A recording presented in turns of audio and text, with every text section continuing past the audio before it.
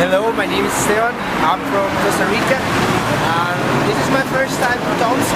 Uh, I'm going to give my first class for the Winter Sunshine Project. I'm very excited. Um, I'm not used to see just like night at this time because it's all it's like eight and a half a.m. it's just part of the adventure and I'm really excited and I'm really glad that you gave me this opportunity. And if you just are thinking of coming to Tomsk,